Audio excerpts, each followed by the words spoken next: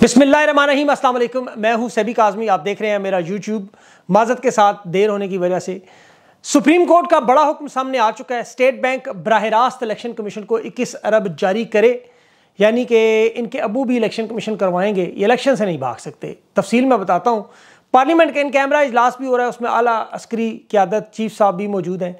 मुकम्मल briefing security सूरत हाल की तफसील और ख्वाजा आसिफ अभी आपको पता है काबुल से होकर आया है और इसी बात पर ये अफ़गानिस्तान में कल उसने ये भी कहा सर्जिकल स्ट्राइक की जा सकती हैं। उस पर भी बात करते हैं। और फिर मोहसिन नकवी, पंजाब का निगरान वजी अला वक्त ख़त्म हो रहा उसका बिलावल जरदारी के चैम्बर में जिस तरह वो दौड़ कर भाग के गया। आप उसका बयान देखें, जरदारी के इससे पहले अपनी निजी महफिल में कि जब भी इलेक्शन होंगे, इमरान खान नहीं होगा। हमने इसका इंतज़ाम किया हुआ है। और मोहसिन नकवी का ख़त्म हुआ वक्त तो फिर ये वजी अला किसे लगाएँगे, क्या एमरजेंसी लगाएँगे, मज़ीद वक्त हासिल करने के लिए क्या करेंगे? उसकी तफसील पर बात करते हैं। जजिस कॉलोनी में चीफ जस्टिस उमर बंदयाल पर हमले की भी आपको पता है बहुत सी सोशल मीडिया रिपोर्ट्स में क्या सच्चाई है। आईएमएफ ने दोबारा इनकार किया, अरब अमारात ने आई इन्हें कह दिया पैसे नहीं देंगे, लेकिन इसहाक डार कह रहे कि आज तीस करोड़ डॉलर आ जाएँगे। तो क्या दस्तावेज़ात अरब अमारात इनसे साइन करवा रहे हैं? इमरान खान से मुतलिक और इलेक्शन से मुतलिक फिर लाहौर हाई कोर्ट ने इमरान खान की प्रोटेक्टिव बेल ज़मानत भी दे दी, जिसमें वो अफसरान के मुतलिक बयान और गद्दारी का मुकदमा। चले, अब इमरान खान भी गद्दार है। पाकिस्तान पीपल्स पार्टी का सोशल मीडिया कैसे चलता है? इनकी ज़रा वारदात मैं आपके सामने रखता हूँ तफसील से आज। सबसे पहले सुप्रीम कोर्ट वजारत ख़जाना को इलेक्शन के लिए किस अरब ए जी पी आर के अकाउंट में जमा कराने की हिदायत दे और सिर्फ़ एक लाइन में जवाब दे। ज़्यादा इधर उधर की आएँ, बाएँ शाएँ, ये ना मारें, सिर्फ़ ये जवाब दें कि फ़ंड्स ट्रांसफ़र हो चुके हैं। ये अदालत ने साफ़ साफ़ कह दिया है।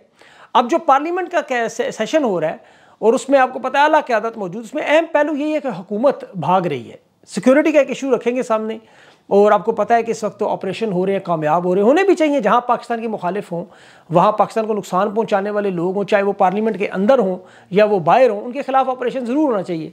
अभी जो वज़रा बैठे हुए जितना नुकसान उन्होंने पाकिस्तान को दिया, अभी अली वज़ीर की मैं देख रहा था, कुछ सवाल उसने पूछने की इजाज़त मांगी। अली वज़ीर के पास वैसे कोई खिलाकी जवाज़ नहीं है, मोहसिन दावड़, अली वज़ीर, ये उस इलाके की अब नुमाइंदगी नहीं कर सकेंगे, क्योंकि मिलिट्री ऑपरेशन की कबायली इलाकों में ये बड़ी सख्त मुखालफत करता रहा। इसने फिर बाजवा साहब के बारे में भी ऐसी ऐसी बातें की कि जिन्हें कानून के, कटहरे में लाएँ। यहाँ तक ही कहता रहा कि जी, अफ़गानिस्तान में मिठाई बटी, पाकिस्तान में मिठाई बटी जब ये कालादम तंजीमें इधर आई। तो अब इन लोगों को बिठा के पार्लियामेंट में आप बात करवाएँगे, जॉइंट सेशन में तो ये बड़ा अजीब सा मामला है। फिर ये आसफ अली जरदारी का बेटा राव अनवार, उसके हक में जिस तरह नकीबुल्ला का केस इन्होंने डाल दिया और वोट दिया इस हकूमत को, इमरान खान की हुकूमत ख़त्म करने पे तो इखलाकी जवाब इनका ख़त्म हो चुका है। अब इनके मसाइल ज़ाती नोयत के हैं। खैबर पख्तूनख्वा के लोग इनके साथ नहीं खड़े। दूसरा अहम पहलू मीशत के हवाले से सागडार दावा कर रहे हैं कि पैसे मिल जाएँगे, लेकिन खैबर पख्तूनख्वा के साथ ये कर क्या रहे हैं, उन्हें तनख्वाहें नहीं देने के लिए पैसे नहीं है। मुआशी मसला सब तरफ़ है, चारों सूबों में, लेकिन खैबर पख्तूनख्वा को ये फाइनेंशियल डिफ़ॉल्ट सबसे पहले करवाना चाहते हैं, क्योंकि खैबर पख्तूनख्वा इमरान खान से मोहब्बत करने वाले लोगों में, पख्तूनों में सबसे ज़्यादा जज्बा था।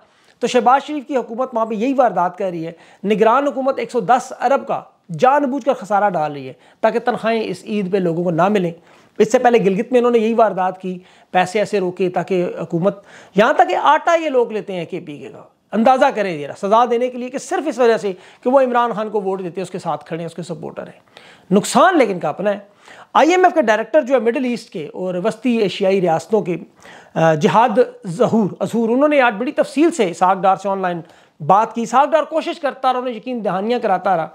कि देखें आपको हर सूरत में जो आप कहेंगे हम मानने को तैयार हैं। लेकिन फ़कीर आपके दरवाजे पर आ जाए तो आप उसे भीख ना दें पहले ज़िद करता है। फिर आपके कपड़े खींचता है आपकी आस्तीनें खींचता है। फिर नौबत यहाँ तक आते हैं आपको धमकियाँ देने लग जाता है। तो ऐसी कैफियत इस वक्त इनकी है।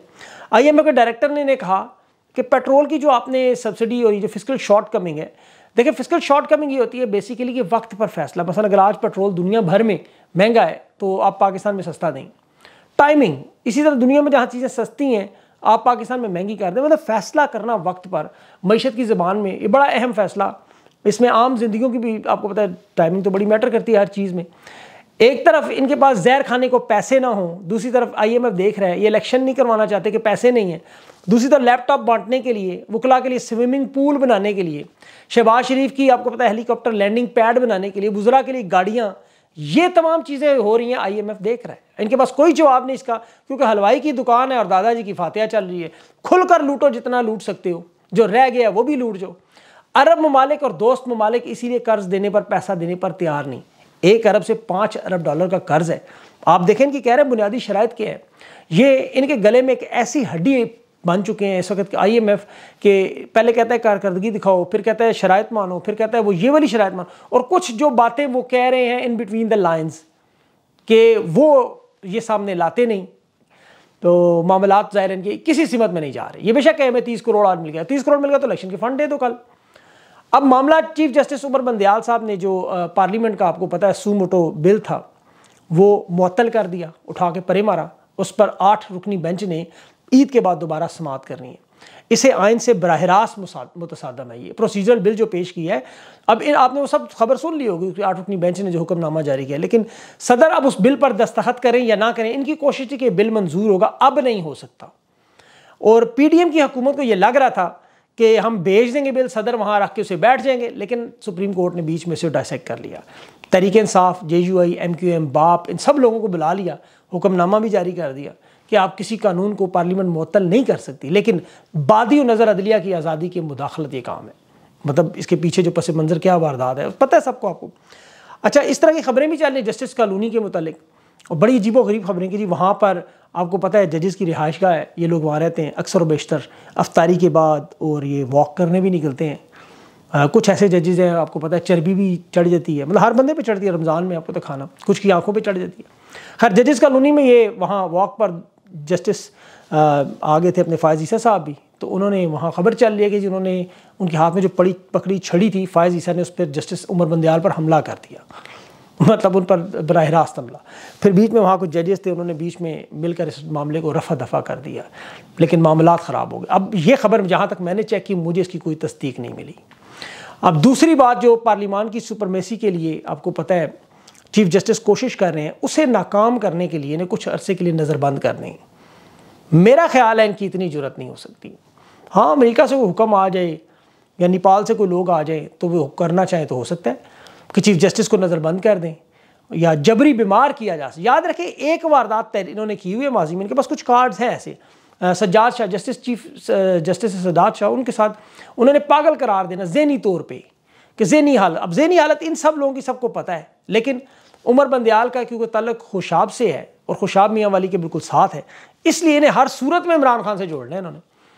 तो पार्लियामेंट के जो बिल है, उसकी अहमियत तो आपको पता है, रद्दी की टोकरी में चली गई है। उमर बंदयाल साहब और जस्टिस ईसा फाइज के, फाइज ईसा के बारे में। इनके दरमियान बहुत बड़ा फ़र्क कर रहे हैं लोग। मुतफ़ा पार्लियामेंट से मंजूर हुई, आपको याद हुआ इक्कीसवीं तरमीम जस्टिस फाइज ईसा ने नामंजूर कर दी। यहाँ सादा अक्सरियत है, थोड़ी सी। 224 लोग कौमी असम्बली में और चौंसठ इनको सैनट में। उसके बावजूद इनके तो अपना कोरम पूरा नहीं होता, ये बिल पास कर लेते हैं। Bill pay bill bill pay bill. अब दो मई तक ये तो रोक लिया गया है। इलेक्शन के फंड के बारे में भी चीफ जस्टिस ने क्लास ली है इनकी। साफ़ स्ट्रेट स्टेटमेंट दे दी सेनेट असम्बली पार्लियामेंट जो भी बिल मुस्तरद ये करते रहें, इससे फ़र्क कोई नहीं पड़ता। और अब देखें, इमरान खान हमला केस, आप देखें, उसका मुलजिम जो है मियाँ दाऊद, वो मुजाहिर नकवी के खिलाफ जो रेफरेंस है, उसका वकील भी मियाँ दाऊद। चीफ जस्टिस समेत आठ जजेस के खिलाफ जो रेफरेंस वो भी वकील मियाँ दाऊद। या तो वकील बदल लें या तरतीब कम अज़ कम ठीक कर लें। ये नवे की दिहाई नहीं है, सोशल मीडिया का ज़माना है। अच्छा सिंध असम्बली में नो अरकान तरीके इंसाफ के वापस आ रहे हैं। हाई कोर्ट का जो फैसला था वहाँ, इलेक्शन कमीशन और आपको पता है, स्पीकर कौमी असम्बली इन दोनों के अहकाम को मुतल कर दिया था। अब इन अरकान को कानूनी तौर पर नहीं रोक सकते। अब बंदा पूछे भी लाहौर में भी तो यही हुआ था। अब लाहौर में और पेशावर हाई कोर्ट में वहाँ पे भी हुक्म दे दिया ये। लेकिन फ़र्क यह कि इन दोनों अदालतों ने इलेक्शन कमीशन के डी नोटिफिकेशन के हुक्म को मुतल किया, जिसका फ़ायदा उठा के स्पीकर ने इन अरकान को अदालतों से, क्योंकि फ़ैसला मुतल नहीं है, तमाम अरकान को कौमी असम्बली में शिरकत की इजाज़त नहीं दी। लेकिन सिंध हाई कोर्ट ने स्पीकर के हुक्म को भी मुतल कर दिया और स्पीकर के जवाब को भी गैर आइनी गैर मौसर कर दिया। अच्छा इसके साथ एक ट्वीट ख्वाजा आसिफ की, नवे दिन में इलेक्शन का पता है कि नवे दिन इद्दत क्या होती है, ये नहीं पता। फिर ट्वीट डिलीट कर दी। अगर इनके अपने लीडर के घर थरथराट वाले खिलौने निकले 120 दिनों के अंदर पुष्पा देवी एक बच्चे पैदा कर लें, इनका एक दूसरा लीडर हिजड़ा क्लब का मेंबर बने, या इनका अपना एक और लीडर तवालत पसंद, मासूम बच्चों से मदरसों में, आपको पता है, दीन फरोश तो वो सब कुछ कबूल है। लेकिन सुन्नत निकाह की वो कबूल नहीं, नवे दिन में इलेक्शन ये कबूल। इन सब लोगों को अपना डीएनए चेक कराना चाहिए। जो लोग अवाम के पैसों को चोरी, डाका, मार, लूट करके, लूट मार करके याशी करके, अब देखिए सबूत पनामा में आ गए, बैरूनी दुनिया ने दे दिए यूरोपीय स्कूलों ने दे दिए, जरदारी शरीफ को अगली नस्लों तक वो अपने पढ़ा रहे हैं वहाँ। बीबीसी की डॉक्यूमेंट्रियाँ बनी हुई अली शरीफ और जरदारी पर। बैरूनी दुनिया में यूनिवर्सिटीज़ में केस स्टडीज़ होता है कि करप्शन एक ऐसे मुल्क में कैसे की जाती है, जो उन्नीस सौ बासठ में जर्मनी को कर्जे दे रहा था, आज अफ़गानिस्तान से कर्जा लेने पर मजबूर है। देखिए दुनिया की अदालतों में इनके करप्शन में इंटरनेशनल अदालतों में इनके केसेस के फैसले हो चुके सरे ले लें, स्विस ले लें, जहाँ ले लें। दूसरा, ये कुफर के फतवे लगाने के लिए। कुफर के फतवे और लगाने वाला कौन? बिलावल, जिसके अपने नाना ने आयन में पहले काफर काफर कहने का काम शुरू किया। बलोचिस्तान में कत्ल, सबसे पहले जुल्फ़ार अली भुट्टो ने शुरू कराया तालिबान बेनज़ीर ने बनाए। इमरान खान के खिलाफ ब्लाशमी का प्रोपेगेंडा इन्हीं की पार्टी ए एन पी के एम वली ने किया। ये झूठे लिबरल है। अमन मुजाकर के ज़रिए सवाद को दहशत गर्दों के हवाले इन्होंने किया था कराची में और बी एन इन्होंने B N P P N P party ने।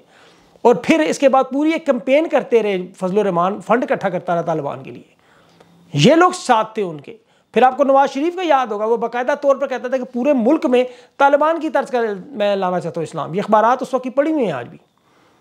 वहाँ उनका निज़ाम लाना चाहता था, लेकिन लाया नहीं, क्योंकि उसके रूहानी वालद का साहब का सफ़र ख़त्म हुआ था उस वक्त। नया नया अफगान जहाज़ इनके जहन में था। डॉलर कंटेनर के नहीं थे, जो सिर्फ़ स्विस बैंकों तक पहुँचाएगी। इसलिए चाहते ये वही हैं कि निज़ाम वहाँ पर ऐसा, इन्हें कोई से इस्लाम से गर्ज नहीं है। वरना अफ़गानिस्तान में तो अभी अफगान तालिबान ने हुकूमत में मौजूद अपने तमाम रिश्तेदारों को, अहलकारों को, जानने वालों को निकाल दिया। अगर ये निज़ाम वो चाहते तो सबसे पहले अपने ख़ानदान को अब इस पार्टी से पाक कर दी। अब इमरान खान ने जब तालिबान से बातचीत शुरू की तो उन्होंने कहा, तालिबान खान बना दी। ये बिलावल कहता रहा। मज़ाहिर इस ये इन सब लोगों की वारदात है। आप इनके ख्या, जो ख्याल हैं वो ज़रा सुने क्या है इमरान खान के बारे में उन लोगों के बारे में। इनका जो सोशल मीडिया देखें पीपल्स पार्टी का सोशल मीडिया सबसे कमज़ोर था। शर्जील मेमन और बिलावल की आज आप ट्वीट्स देखें इस तरह फैलाई जा रही है मैं हैरान हो गया ग्यारह हज़ार फॉलोअर पाँच पाँच हज़ार लोग में गए क्यों? सिंध में नौकरियाँ देने के बहाने इन्होंने सोशल मीडिया की टीम बनाई लॉन्च की। चले पाकिस्तानियों को नौकरी दी ठीक है। शहबाज गिल ने भी बताया ट्वीट डोमिसाइल बैंकिंग सिस्टम, पैदाइश, डेथ गाड़ियों का सिस्टम, आपके जितने भी एयरपोर्ट का निज़ाम है, तनख्वाहें देना, हर चीज़ में ये लोग थर्ड वर्ल्ड कंट्री होने के बावजूद चीज़ें कंप्यूटराइज कर रहे हैं। लेकिन जब वोट की बात आती है तो ये बिलावल जैसा शख्स भी कहता है, अंगूठे पर सियाही और पुरानी पर्ची पर लगाओ। क्यों? सोशल मीडिया पर अभी भी पैसा लगा रहे आज देखें, पाकिस्तान की तारीख में इमरान खान सबसे मकबूल लीडर। अदालतें आज उसके सामने, अदालतें उसके मुखालिफ थी, आज के साथ हो। कश्मीर का मसला हम लोग हल नहीं कर सकते थे। कश्मीरी आज हिंदुस्तान के लोग ये कह रहे हैं, भाई, आप लोगों का मसला तो हम हल करते हैं। हमारे यहाँ तो जी ट्वेंटी कॉन्फ्रेंस हो रही है। अब आप ये सारी वारदात देखें, जिन लोगों पर ये तकिया करते जो ज़्यादा बिलावल जैसे शोर में जाते जुल्फ़ार अली भुट्टो ने बलोचिस्तान में ऑपरेशन करवाया था सबसे पहला। इस शख्स ने बलोचिस्तान में बड़ा जुल्म किया है। उन्नीस सौ बहत्तर में जुल्फ़ार अली भुट्टो और नेशनल अवामी पार्टी वहाँ पच्चीस साल लगाकर वहाँ पहुँची थी। अवामी पार्टी और ये वहाँ पर इसकी भुटो की कोई ऐसी सीट नहीं थी। National Awami Party Peoples Party का एक बंदा भी वहाँ नहीं था। इसने वहाँ जाम गुलाम कदीर को पहले चीफ मिनिस्टर बलोचिस्तान बनाया, फिर वहाँ का बजट जो था रेडियो पाकिस्तान को दे दिया, वो बनाओ बजट। लोगों ने वहाँ पीपल्स पार्टी को मुस्तरद किया। के पी के में जिस तरह मुस्तरद किया। फिर 1970 के इलेक्शन में सिंध में पंजाब में जुल्फ़ार अली भुट्टो जीता था, लेकिन इन्होंने बलोचिस्तान में ऑपरेशन शुरू कर दिया। वहाँ पाँच हज़ार लोग इस ऑपरेशन में मरेंगे उसके बाद बलोचिस्तान आपके सामने। आज उसका नवासा बिलावल जरदारी, जिसकी मैं भी बात सारी कर रहा हूँ। ये अब उसी के नक्शे कदम पर चल कर ये वारदात करवाने जा रहा है। बाकी नवाज़ शरीफ साहब भी आपको पता के साथ हैं। इस वक्त खैर वो है तो उम्र पर उनकी तस्वीर आ रही हैं, वीडियोज़ आ रही हैं सिक्योरिटी के हसार में। अल्लाह के घर का तवाफ़। वैसे तो ईमान के अतबार से देखिए, सबसे मुतबरक जगह और सेफ़ जगह, खाना काबा से आगे तो कोई हो नहीं सकती, वहाँ भी नहीं हिफाजत की ज़रूरत है। और सऊदी हुकूमत की आज तक मुझे बात नहीं समझ आई कि कोई हुक्मरान हो, लीडर हो, उसे बर रास्त बैतुल्ला के अंदर ले जाते हैं। खाना काबे के अंदर। बिल्कुल इसलिए कि इस बंदे के पास ताकत है या पैसा या कोई मशहूर शख्सियत। ऐसे लोग अंदर जाते हैं। बाबा बुल्ले शाह का लेकिन एक शेर मुझे याद आ गया कि मेरे पास ठेका तो नहीं किसी के शख्स की उम्र, आज गई तो अल्लाह के पास इबादत कबूल हो या ना हो, लेकिन बाबा बुल्ले शाह ने जो कहा कि खो के खाइए तो रज नहीं होता नंगा पेंडा कज नहीं होता हक मार के मक्के जाइए, पेंडा होता हज नहीं होता अब पंजाबी बहुत सारे लोग नहीं समझते तो उसका मतलब कि जब छीन के आप लोगों से खाएँ तो फिर आपका पेट कभी नहीं भरता, बरकत नहीं होती। चोरी के कपड़ों से आप तन मन ढांक तो सकते हैं, लेकिन अंदर की बगैरती नज़र आती है, फिर भी। आप किसी का हक मार के, अवाम का, गरीब अवाम का अहों सिस्कियों की रोटियाँ छीने जिनसे, जहाँ आटा ना हो, चीनी ना हो, रोटी ना हो, ये हज करने चले जाएँ तो बाबा बुल्ले शाह का कहना इनका हज नहीं होता, उम्र नहीं होता। अब ये जाने और वो जाने, मैं फतवा नहीं देता। बाकी इंशाल्लाह जो सूरत हाल बन रही है एमरजेंसी की देखें, इन्हें वक्त चाहिए। ये असल में ज़्यादा से ज़्यादा वक्त हासिल। अगर आज मोहसिन नकवी की हुकूमत ख़त्म हो जाती है, जो कि होनी है अभी आठ दस दिन, ज़्यादा ज़्यादा आपके सामने आ जाएगा सब कुछ उसके बाद इनके पास कोई और चारा नहीं है। कानूनी एतबार से इनके पास कोई चारा नहीं है कि उसको रोकें। कोई कानून में ऐसी गुंजाइश नहीं। कि करेंगे क्या? एमरजेंसी के अलावा और कोई हल नहीं है। लेकिन अगर इसहाक डार कह रहा है कि तीस करोड़ डॉलर आज रात मिल जाएँगे तो फिर तो मसले ख़त्म इलेक्शन करवाएँ, जान छुड़ाएँ। लेकिन उन्हें करना नहीं है। अब देखें कितना लटकाते हैं। अपना खास ख्याल रखें। इंशाल्लाह अपडेट करता रहूँगा। अगली वीडियो तक के लिए इजाज़त। अल्लाह हाफिज़।